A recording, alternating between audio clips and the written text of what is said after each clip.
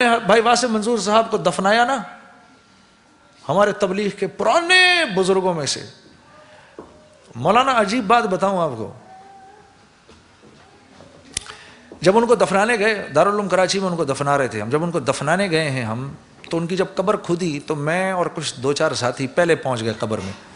कब्र को हाथ अच्छा मैं कब, मैं कब्रिस्तान के अहाते में घुसा हूँ ना, ख़ास अहाता था तो खुशबू आ रही। मैंने कहा कि उनके जो मानने वाले हैं, मुरीदान वगैरह, उन्होंने को छिड़का मिड़का होगा गुलाब। मैं करीब गया हूँ और मैंने ऐसे कहा, भाई, खुशबू आ रही है। तो वो गोरकन मुझे कहता है, जी, मैं इन लोगों को कह रहा हूँ, जब से मैंने कब्र खोदनी शुरू की है, इसमें से खुशबू आ रही है। फिर हम, मैंने यूँ करके कब्र की मट्टी उठाई। तो मैं आपको क्या बताऊँ, मैं सुना करता था, अल्लाह वालों की कब्रों से मट्टी से खुशबू आती। है अपने, मैंने खुद बनफ से नफीस। अच्छा और जैसे ही जनाजा आया तो जनाजे के साथ तो हज़ारों लोग थे। इतना बड़ा जनाजा ना कभी दारुलूम की तारीख में इतना बड़ा जनाजा कभी नहीं उठा। वहाँ के उलमा खुद कहते हैं। तो जब जनाजा आया है जनाजे के आते ही पूरी खुशबू गायब। पाँच सात मिनट के लिए हमने वो सूँगी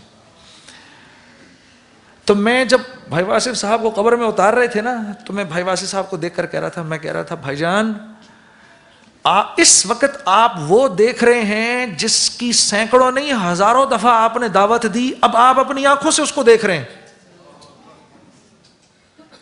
यही बोलते थे सारी ज़िंदगी आप, मरना है मरना है, मरने से पहले मौत की तैयारी करो, हमने कब्र में जाना है, हमने इस दुनिया में हमेशा नहीं रहना, अब आप अपनी आँखों से देख रहे हैं उसको, और हम भी देखेंगे उसको।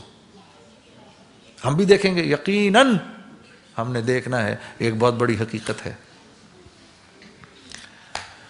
हाँ तो यूँ हो के दुनिया से जाने लगे, फरिश्ते आए, आकर आपको बशारते दें हाँ?